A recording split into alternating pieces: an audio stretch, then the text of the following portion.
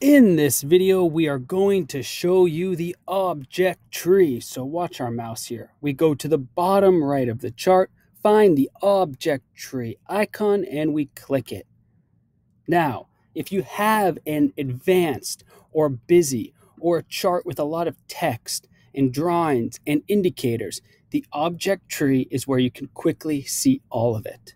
So the object tree is a place for you to manage and organize everything that's happening on your chart. So I will show you an example. One thing that we're doing on this chart is leaving quite a few notes.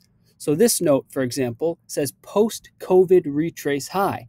It shows the high point since the COVID crash. This note says 200 day moving average. It means this blue line is the 200 day moving average. Now, every time we come to this chart, we want to quickly adjust these notes or perhaps make edits to them. So we can use the object tree to do that. And we can also make it really easy for ourselves. For example, watch this. Let's create a group of text notes. So we go up here to create a group of drawings and we click the icon. Now what we're going to do with this group is we're going to call this group a uh, the text notes for our chart. So let's call it all text on the chart. And now we will select each text item and we'll move it into our group. What's cool about this is now we can just select the group and we can hide it or unhide it. We can lock it and unlock it, or if we press the X here, we'll delete it.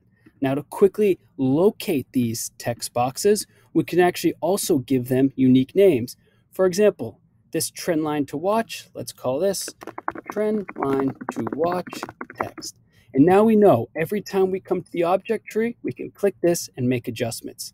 By the way, if you double click, you can edit the text from here. So change its color or change its font size or maybe make it bold.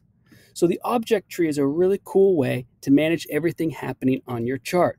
You can create groups, you can create specific names, and if you want to, you can reorder, you know, the most important things that are happening on your chart.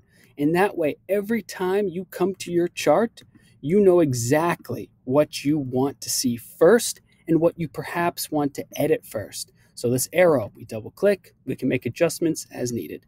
This trend line, double click, make adjustments as needed, or perhaps we want to make a group and we want to call this group uh, the trend line group. So specifically, anytime we draw a trend line, we're going to add it into this group. In fact, we'll just do that right now.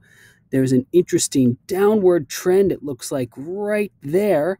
And what we can do now is call this trend line downward, and we can move it into our trend line group. So see what we've done here. We now have groups, we have specific names, and we can just see everything that's happening on our chart straight from the object tree. So remember, you can get to the object tree by going to the bottom right of your chart, finding the icon and clicking it. From there, you'll see everything that's happening on your chart and you can quickly adjust, edit, change, or rearrange each thing that's on your chart. Makes it really easy and it's just the best way to manage and see everything that's going on in your chart, especially if you have a chart like this, where there is a lot going on with text and arrows and indicators and drawings. So we hope that you enjoyed this tutorial. If you have any questions, please leave them in the comments below. If you already use the object tree and you're a master at it, how about you leave some tips and tricks for us in the comments so that others can learn. And if you really enjoyed this video, please, please press like, Thank you for watching.